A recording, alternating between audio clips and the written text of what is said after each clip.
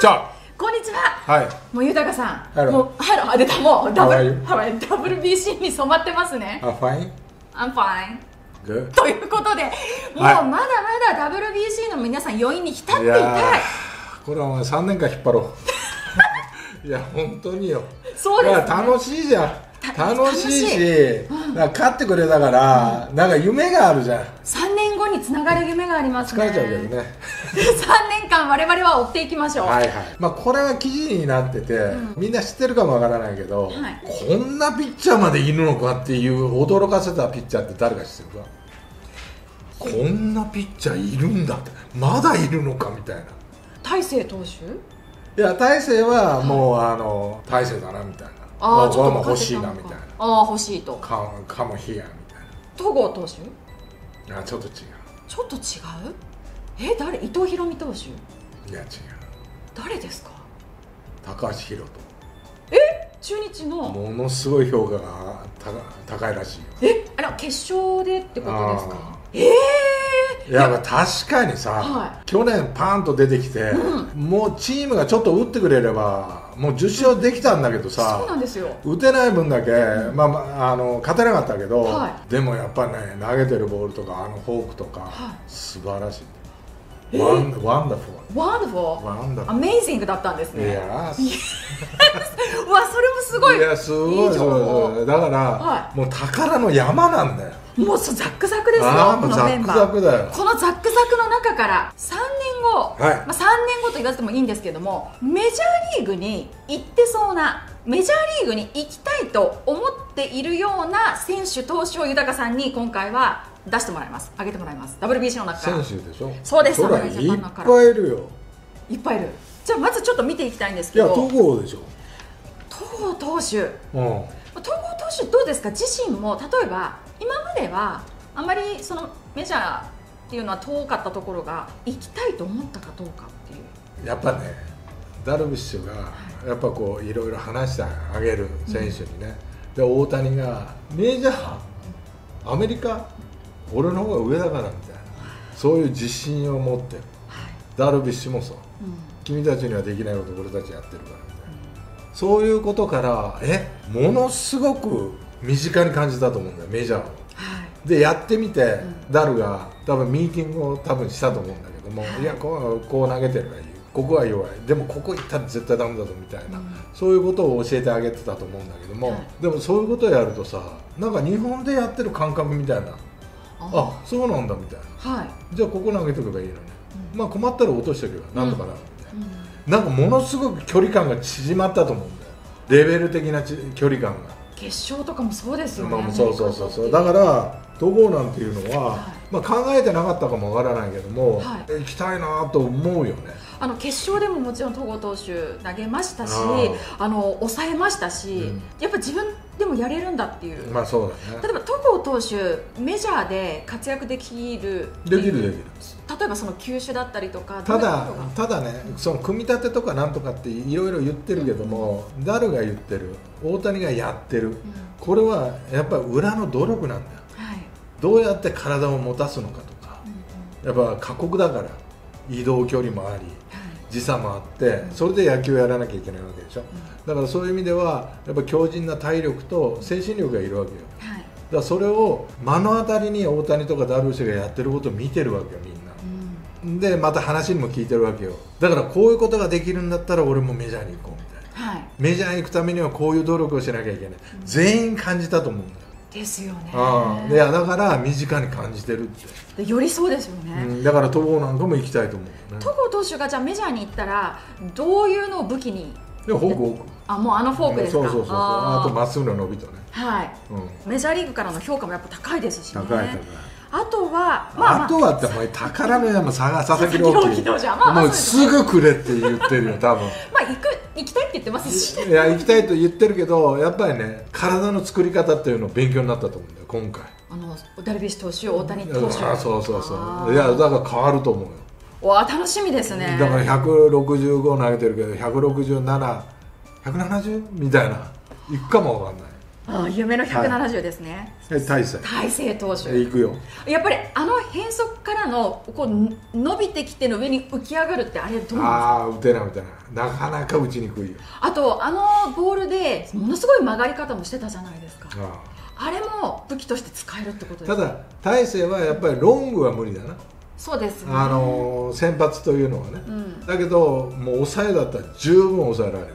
とか例えば7回8回の1イニングっていうところっていう。もったいない。後ろ。クローザーでいい。リベラみたいになりますかね。まあなってほしいよすごいな。あでも多分あの大勢投手も行きたいっていう気持ちは出てきたでしょうね、そして伊藤大海投手。伊藤大海ね、ん。これもいけるいける。いけるけどチームに帰ってさ抑えやってくれって言われてたじゃん、はい。それ嫌だって言って先発してるじゃん。はい。あの子は抑えやったらねメジャーすぐいける。あ。先発だと苦しいかもわかんない。それはどうしてですか？バッターになれるのが早い。バッターがなれる。伊藤大海投手に？そう。でも1イニングだったらなかなか難しいからこのピッチャーあの完璧に抑えましたからねそうそう。あの1イニング。だからメジャーに行きたいんだったら俺は先発より抑えをやってる方が行きやすいと思う。もしくは例えば2イニング78とあかあまあそれでもいい。この子はね多分ねすぐ肩ができるタイプだと思うんだよ。で最初からマックスでいけるタイプだから、はい。俺はそういうふうに考えた方が伊藤大海はいいような気がするんだけど先発だったらなかなか難しいと思う。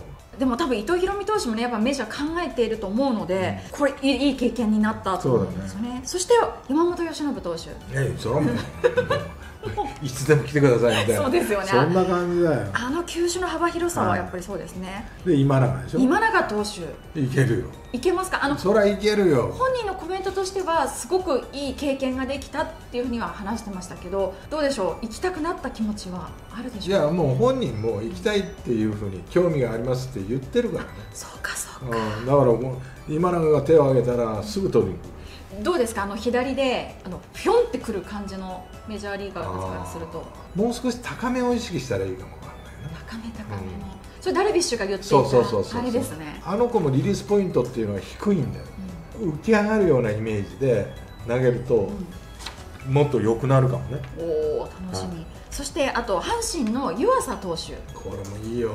まあ、1イニングピタッねいけるいける。いける。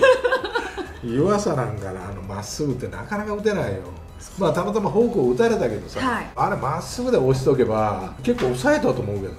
おおじゃあメジャーでもまあまあでも中継ぎだよなそうですねうん。きっと。そうだね。で、えー、宇田川投手です。フォークは打てませんから ダルビッシュ投手がナンバーワンって言ってますからねフォークの落差あれメジャーでいいです。絶対いいと思う夢があるな。夢がいや夢がありますよ、えどっかメジャーのチームも宇田川投手やっぱりあのフォークああそれはそれはもう欲しいっていう選手はたチームはどこでもあるよ。ありますか？でもね、うん。言っとくけどねこんなに出ていかれたら、日本の野球業がすっかすかになるから、まあそうなんですけどね。本当に。確かに。それは困るよ。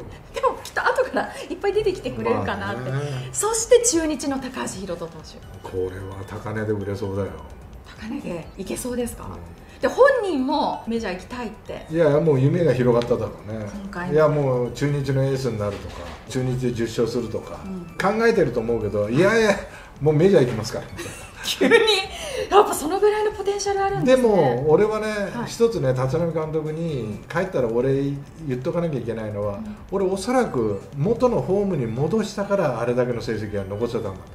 あれねすり足で多分言ってたらねまだね自分のものになってないと思うわだから将来的にすり足するのは全然いいんだけど、はい。立浪監督がお前それやめろと、うん。ね、球速も落ちてるし、ね、足を上げた時にお前 WBC って選ばれたんだから、うん。そのままの形を持っていけってはい。言ったのは立浪正解だったと思う。よかったんです、ね、うん、だからあのその時はねちょっと自分が考えたことだし、まあ憤慨した部分もあったと思うけど、帰ったら立浪監督に正解でしたって一言言うと監督も救われるからそうです、いや本当本当。いやでもそれがねやっぱりあの活躍いやーすごかったね。メジャーでの評価につながってるので、、はい。やちょっとあのめ MLB でやるのも見たいです。あの先発になるんですか？それともなかった？あ先発先発お前。先発ですか？あー。これがいいの。あーこれこれこれがいいから。先発で。いやまっすぐの力あるよ。もっと力出てくるよさらに、力がつついたら。はい。その力のつけ方っていうのは、大谷やダルビッシュとかもうこう聞いてるし、はい。でもそのそばで見てきてるはずだから。うーん。これはいいよ。いい勉強になりましたね。そして宮城投手。うんいけるね。左で。これだけ緩急の使える、はい。やっぱ向こうでは珍しいタイプだからでも良かったら抑えるけど悪かったら打たれるっていうタイプになるかもわからない。よね。ちょっとどっちに転ぶかなっていう感じでまあだけど宮城も面白い、そうですね、あと高橋奎二投手。高橋奎二な。どうですか、高橋奎二、ん。投げた時は抜群の安定感だったんだよ。ただ日本で投げてる時ってえいやーって自分の力を信じて真ん中に投げてくるんだよ。はい。それをファールでカウント取ったりするけど、えいやーって投げたのが向こうではホームランになると思うんだよね。はい。だからそこら辺の精度っていうのが上がればあの投げっぷりではい。いけるな、おおキャッチャー3名いましたけどここは、まあ、やめといた方がいいな。うん。まあキャッチャーは？キャッチャー難しいよやっぱり。そうですね。うん。頭脳とか、うん。取ってからの速さとか優秀だけどやっぱ打てないといけないから、うんやっぱバッティングという意味ではね、はい。ちょっと非力だな、はい。はい。さあ内野手いきましょう。内野手の中で、例えば源田選手とか牧選手。やっぱこの中では村上岡本ぐらいじゃないの？神様と師匠ですか、まあ、神様は言ってましたよね。村上選手はやっぱメジャー行きたいっていうのは。岡本も行かないかな。でもなんか師匠今回すごいホームラン持ってたしいやいやそうだね。でも行きたいってどうですか？いや行きたいって言ったら手を挙げる球団はあると思う、ありますよね。まああると思うけど今回のメンバーの中でははい。村上と岡本かな。内野手ではね。そうですよね、はい。い、やあの岡本選手行きたいっていう気持ちがああいうので高まってきてるのかなとか自分も、あまあね。できるっていうことが証明されたと思うんで、で牧も岡本はなんか出そうもないけどな。あ巨人の4番っていう形で、ね。あはい。牧選手はどうなんですか？いや牧はねやっぱ守備がきついよで内野手で成功するっていうのはよっぽどだから。はい、あの松井稼頭でも苦労した、うん。ね、井口でも苦労した。はい。で西岡はあんまり良くなかったよね、だからそういうことを考えると牧の守備。ファーストでやってくれるんだったらチャンスはあるけどファーストだったらやっぱもっと打たなきゃいけないんだろうな。そうですよね。だからちょっときついかも。あれメキシコ戦もそうでしたけどメジャー級の選手ってセカンドで座って放ってアウトにするじゃないですか、どえらい方ですよね。まあやっぱりねここから先が強さが違う。よそうですね、ん。やっぱそうなってくるとやっぱ内野手ってすごい厳しくはなってくるんですね。ね。まあ、中でも、まあ、村上選手だったり、まあ、岡本選手だったりところがあるかなと、まあ、あと外野手。外野。はい、まあ、石田選手はねあれあお周東選手？足のスペシャリス そうですね。ダイソーって形になるんですか？レギュラーではないということですよね、ト全く。彼の足はスターになれるよな。向こう行ったら。いやあのね大谷選手とのあの帰ってくるあのシーン。だからそれで良ければ取りますよっていうところはあるんじゃない？でも年俸はいやそれはダイソーにそんなにお金は出せないでしょでもこの足は魅力的だって感じた球団はあると思そうですよね。ああ。のシーンを見て、う、うん、うん、近藤選手今度はやっぱパワー不足だなちょっとな。あのその出塁という意味でも。あのね向こうはねそんなにねフォアボール出してくれないよ。あそうどんどん勝負に来てくれるよ。そっか。ワンチャン打てる可能性もあるけどね、はい。でもやっぱボールに力あるし、ボールが重いし、ん。だから今度は行ったら苦労すると思う。できないことはないよ全然。できないことはない。けど苦労するあと日本とそのメジャーリーグでやっぱストライクゾーンがやっぱり違うので高めのあれだったらフォアボールって出るところもストライクコールが結構出てたのでそういう意味でもちょっと苦労する部分って出てくるまあんですかね、ワンチャンあるとするとダイソーで周東選手、まあ山崎総一郎もお前途中から入ったけどお前山崎総一郎もいけるよ。まあ一回も出出なかったですけどか吹田の主い婦やもうね。いけますか？いけるおばさんと一緒にいけるよいきますか？いけるけど、じゃあこの中では一番高値でいけそうな選手は豊さん一人選ぶとすると？い、一番高値？はい。そら佐々木朗希だろえ山本投手よりもですか？うまあ安定感は山本あるけど、はい。年齢的なことも考えたら、まだ若いじゃない。はい若いです、で160キロ連発するじゃない、そんなピッチャー向こうでなかなか先発ピッチャーでいないからね、いくらでいくと思います？160億ぐらいじゃない。億？何年契約ですか？まあ5年とか。おお5年5年も出してくれるんですか？いや5年ぐらいはやっぱ見たいよね。そうかまあまあ例えば1年間はい環境に慣らすために、はい。あとやっぱ体がちょっとひ弱なところだったらうん。強くして2年目からあとの残り4年をはい。フル回転で使いたいみたいなるほど。5年160億ないやぐらいで来るんじゃない？じゃあ2番目に出る出る選手とすると誰が出ます？高橋宏え山本由伸投手ではなく斗だから若いんだよ彼らは。だかって佐々木朗希よりも若いんだから高橋は。シャバファイト出られなかったぐらいですかそうだよ酒飲めないんだからお前。向こうだとまだ未成年なんですよ。そうなんだよ。いくら出します？125億。125何年？5年。これも5年夢あるな。高橋宏斗投手のやっぱ魅力っていうとやっぱり伸びしろだな。だって160キロは投げてくると思うし、うん。それであのフォークがあるんだったら勝てないはずがないよね考え方としたら、はい、3位高値高根はもう山本由伸。あここに入ってくるんですね、山本由伸投手だとおいくら？由伸は24歳。まあ若いな。どっちにしても若いんですよみんな 2124とか20歳とかなので。いやもうこれ完成品だからさ。もうそうですね。145億だな。あいやなんかすごい現実味のある金額できましたね。これはもう5年。もちろん、おお5年145億。あとなるとあれですね。2位の高橋宏斗投手とちょっと入れ替わるような感いや金ではね。うんうんうんうん。お金でではも欲しがるのは高橋宏斗だ金額では、まあ、佐々木朗希投手山本由伸投手高橋宏斗投手ですけど欲しがるとすると佐々木朗希高橋宏斗山本由伸手村上選手はそこにはまだちょっと入ってこないですよ金額的に。ああ野手も入れていいの？は野手入れていいんだったら言えよおい前え変わりますこの不動。いややっぱピッチャーが欲しいかうんうんうんらそうですよね。4位だ4な位に村上選手。村上選手はおいくらぐらいにまあ140億。140ね。それは吉田正尚が125億かなんかでしょ？はい。やっぱ三冠王取ってるから。うん。それと若さ。若さか。ああ。まあそんなさ、もういいだろ。いやいやいやいやいや。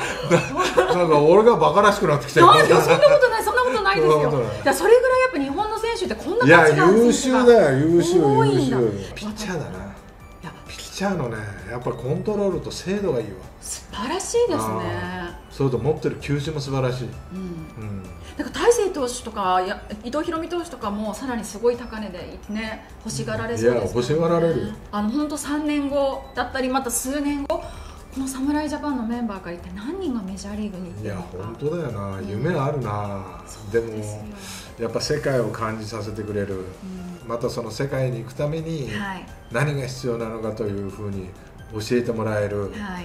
もうそういう環境になったんだな。変わりましたね。ね。それをやっぱダルビッシュ投手とか大谷投手が今回もたらしてくれたっていうのが。そうだすごい。ことねだから大きいな、はまあ同じ日本人の仲間としていはい。メジャーで日本旋風を巻き起こそうぜみたいな、うんまあ、そんな感じの時代になってくるかもな。そうですね。うん。こうやって野球界もっともっとね人気も高まって。なんかさ大手企業がさ大手企業ってアメリカのねばものすごい大きな、うん。まあ、Google でもいいよ。おお。Amazon でも。はい。ね。その日本人選手を作るっていう。メジャーの1チームに入れるってことですね。オール日本人の。日本人だけの。だいつも WBC やってるみたいな いいじゃないですか、ね、侍っていうチームで。そうそうそう。侍って言ってそう。Google か Amazon か。そうそう。年俸もそのぐらい出してもらって。どっかの地区に入れてほしいですね。そうそうそう。ア・リーグナ・リーグだからダルビッシュ監督みたいあダルビッシュ監督で。あいいじゃないですか。ないやそれでこういうメンバーではい。やってみたら面白いなと思って。だからメジャー行きたいですって、うん。じゃあ Google 行くか Amazon 行くかみたいなじゃあそんな感じで。そっち行きますみたいな。そうそう夢ありますね。夢あるよね。はだから日本人だけのメジャーのチーム。い、うん。それを作ったら面白いよ、いやそうですよ。いやそれもやりたいですね。豊さん今度、ね。この動画でメジャーリーグのチームに全ての日本人選手でオールスターを作ってみたみたいな、はい、それも動画で今度やりましょう。そうだな。はい。はい